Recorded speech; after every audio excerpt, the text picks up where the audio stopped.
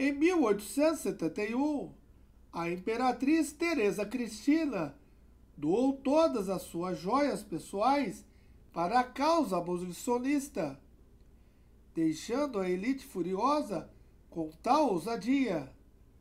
No mesmo ano, a lei do ventre livre entrou em vigor, assinada por sua filha, a princesa imperial Dona Isabel.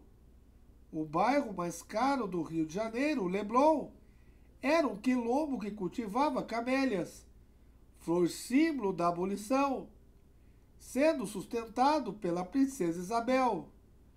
José do Patrocínio organizou uma guarda especialmente para a proteção da princesa Isabel, chamada a Guarda Negra. Devido à abolição e até mesmo antes da lei do ventre livre, a princesa recebia diariamente ameaças contra sua vida e de seus filhos. As ameaças eram financiadas pelos grandes cafeicultores escravocratas. A família imperial não tinha escravos. Todos os negros eram alforriados e assalariados em todos os imóveis da família.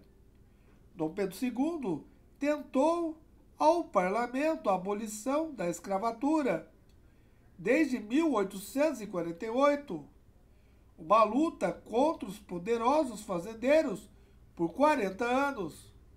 O parlamento sempre negava o projeto de lei, pois muitos tinham influências diretas ou indiretas com os grandes cafeicultores escravocratas. Se tratando de uma monarquia constitucional parlamentarista. O imperador não tinha o poder para decretar lei sem aprovação da maioria do parlamento. Princesa Isabel recebia com bastante frequência amigos negros em seu palácio em Laranjeiras para saraus e pequenas festas. Um verdadeiro escândalo para a época na casa de veraneio em Petrópolis. Princesa Isabel ajudava a esconder escravos fugidos e arrecadava numerários para alforreá-los. Os pequenos filhos da princesa Isabel possuíam um jornalzinho que circulava em Petrópolis, um jornal totalmente abolicionista. Pedro II criou uma cota para negros alforriados ingressarem no colégio Pedro II e nas faculdades. Essa cota não foi aprovada pelo parlamento, porém, Pedro II tirou de seus próprios proventos a garantia da cota. No período de 1872 em 1889, centenas de ex-cativos se tornaram médicos, advogados, engenheiros, graças à chamada Bolsa do Imperador.